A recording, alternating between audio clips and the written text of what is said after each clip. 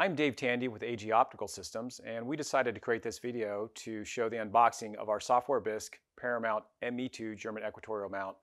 We ordered these mounts and received them pretty quickly in about two to three weeks. And they come in uh, heavy duty boxes. The larger box weighs 115 pounds. The smaller box, which is the accessory box, weighs about 86 pounds. So both boxes, we definitely recommend either using a dolly or uh, another assistant to help you move the box because they are pretty heavy. The main box with the German equatorial head in it is double boxed. And what we've done is we've unpackaged some of the materials just to make this video go a little faster. It comes with some detailed instructions on how to remove the German equatorial head from the, from the box. The main reason for this is uh, you don't want to damage it and also you don't want it to move freely and possibly smash your fingers.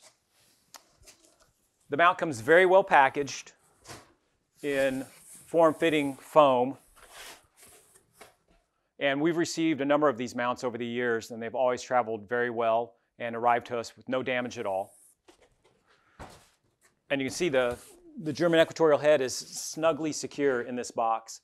It comes wrapped in a bag. We open that up just to give you an idea of what the mount actually looks like. It's difficult to see the scale, but it is quite big.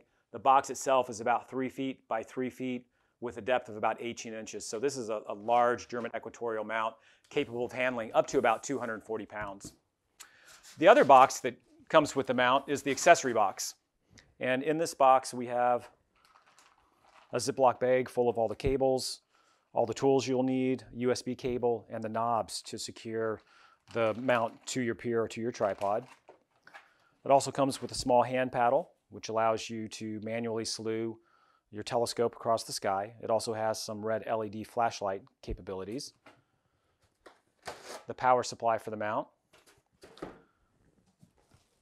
And also the accessory box are two 40-pound stainless steel counterweights and the counterweight shaft. Again, all nicely secure in custom form fitting foam. Ships very well, but it's very heavy.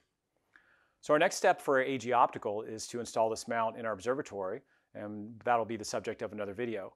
So thank you for watching our video. Be sure to subscribe to our YouTube channel and like this video.